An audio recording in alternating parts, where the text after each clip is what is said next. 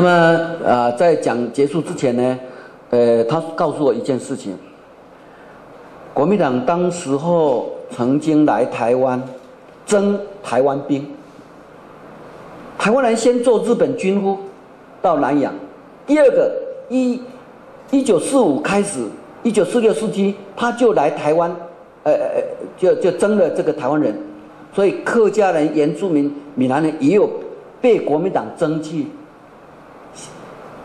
参加国共内战，国共内战只是站在国民党打共产党，结果打输了，变成共产党的奴俘虏。共产党要把他们训练，说你打回去，又去打国民党。一共台湾人为什么拳头一下子替日本人打，一下子替国国民党，一下子共产党，为什么这么拍命呢？他后来就想了，他说不可以，因为史明在共产党地位很高。他的老板的老板邓小平，所以他就告诉头头说：“不可以这样子作践台湾人，要爱护台湾人的台湾兵，给他们集合起来训练。如果有一天国民党在台湾，这些台湾兵会帮你们，所以把那些台湾兵保护起来。这个就是现在还在研究中的台湾兵在中国这个事件，还有很多人在调查，所以他帮助他了。”啊啊！后来看到共产党这样的一个批斗，塞隆他的儿子告爸爸，塞隆女儿告妈妈，然后为了土地这样子抬狼，他说这怎么是社会主义啊？这怎么是人道关怀啊？这根本是假的，假社会主义争夺权。他看穿的毛泽东的阴谋，所以一个打工，我是台湾人，我比在死在中国，我也不是共产党员，我没有加入共产党哦。我不是共产党，我不能死在中国，我一定爬回台湾。所以他两年前写了一本书《逃离赤色中国》，由台教会前卫出版社翻，看过了几首。那一本书就在讲他怎么样从共产党的情报员身份，别爱别都在台湾，那个都可以拍一部电影。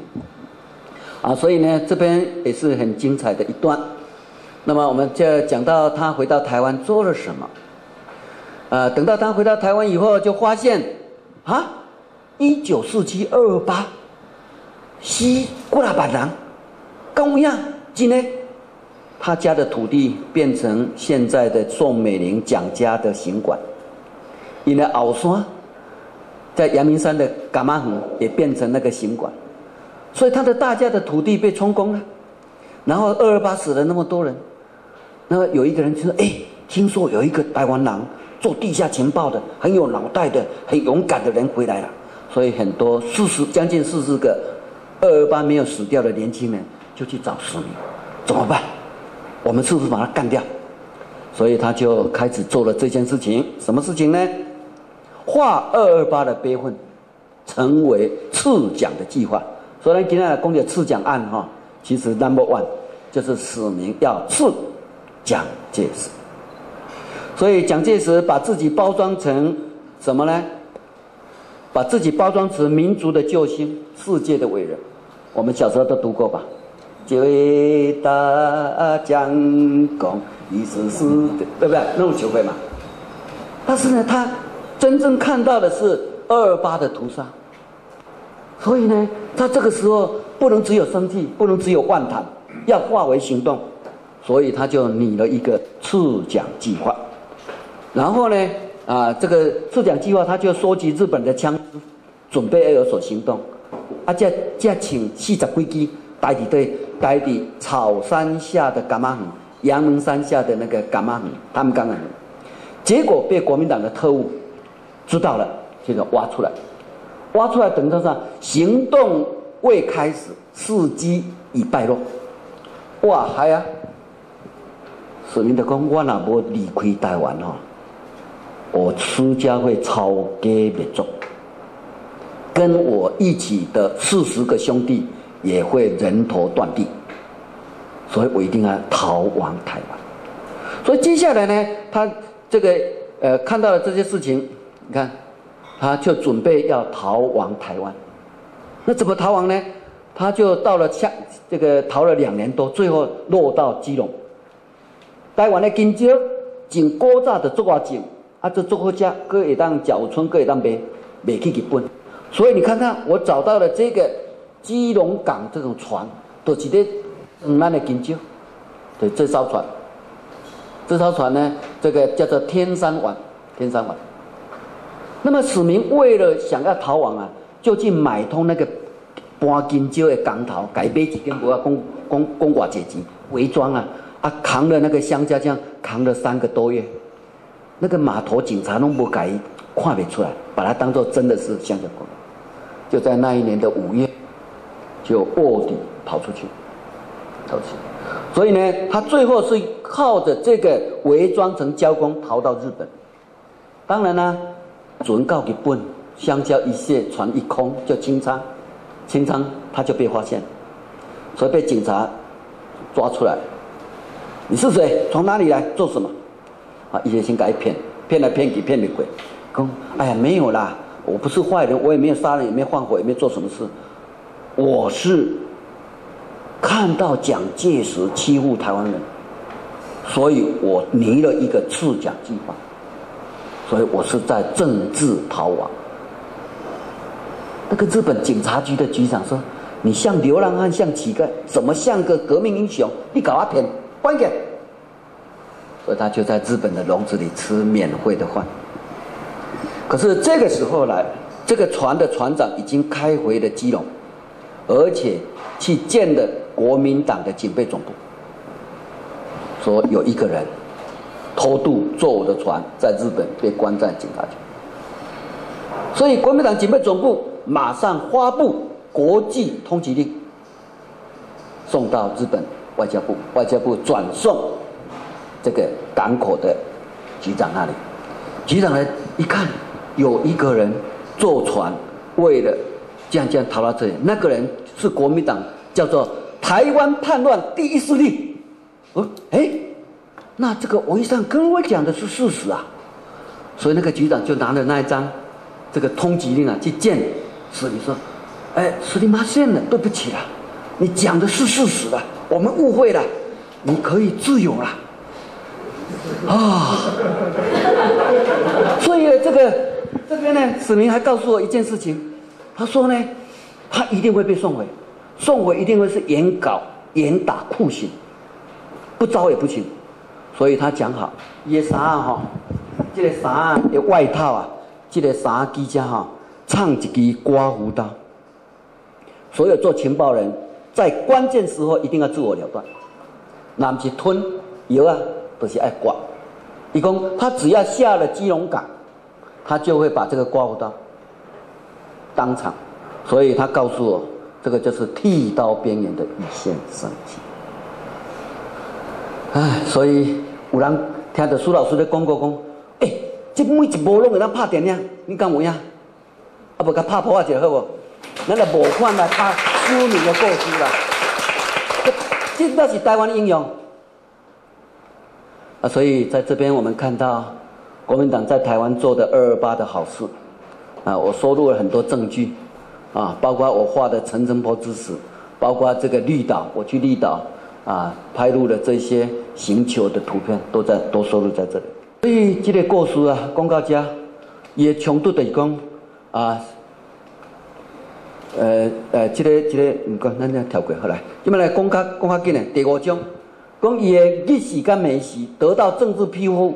他怎么生活？OK，啊，所以得到政治庇护以后，他开始要养活自己。他一讲，我怎么养活自己啊？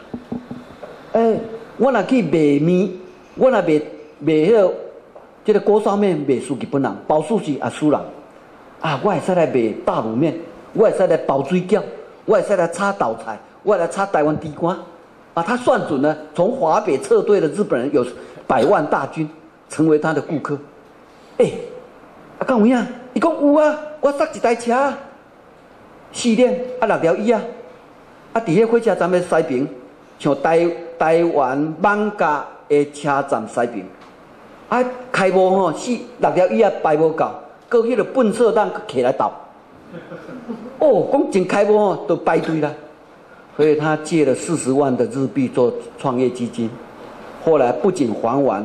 还赚了五百万买土地，还赚了八百万盖大楼，前后八年之间，成为一个日本第一个卖水饺、卖大卤面的台湾为上。所以呢，你看到照片在这里，我讲故事一定要有图为证，啊，这就是一类美米了，啊啊，所以他成为经济独立的阿哥了。所以台湾很多反对分子、台独分子去到日本都要去找他伸手。这个是谁？这是谁？郭无心，陈局的老板，陈局的老板，啊，他还告诉我，他这个我站楼啊，一二三楼，呃，是营业场所，四楼是他的住家，还有他写历史的地方，啊，五楼是客房，啊啊，客房他告诉我这一间小小那一间两个榻榻米，我告诉你，施明德带他的女朋友在这里睡了三个月，嘎工。我哪一个女朋友？啊，姓李的啦。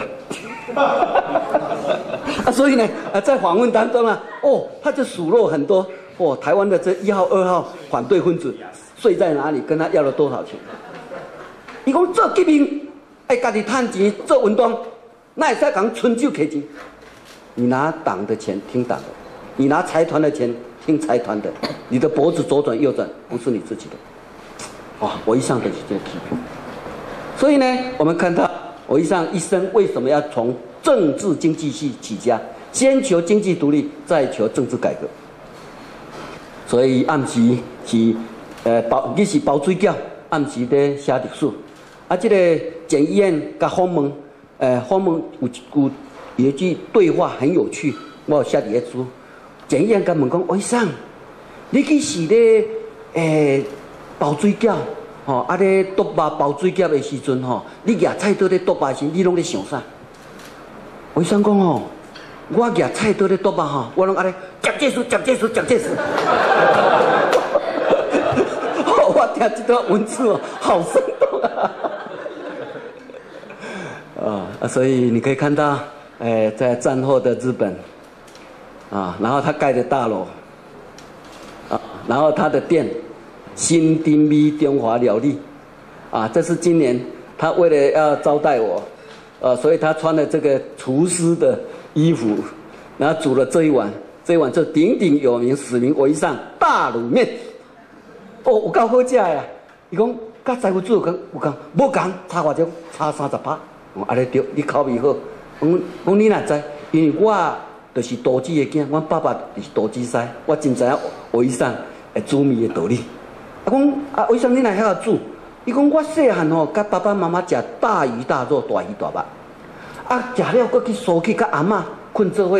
阿嬷搁叫我食，讲爱食迄个青梅小菜小汤。啊，迄个青梅，迄个豆粕、豆乳拢阿嬷牵伊的手做伙做。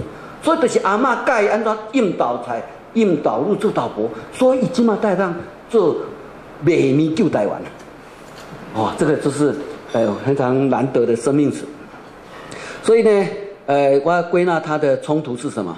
挑战在哪啊？这点特别注意。呃，就是日本庇护了，呃，有一个女朋友，日本的女朋友，看他他赚进了日本将近五亿的财产。啊，这个女朋友看到伊种赚的钱，拢嫁到来台湾咧培养啊，什么运动啦、宣传啦、什么反动啦，结果是跟他撒由那啦。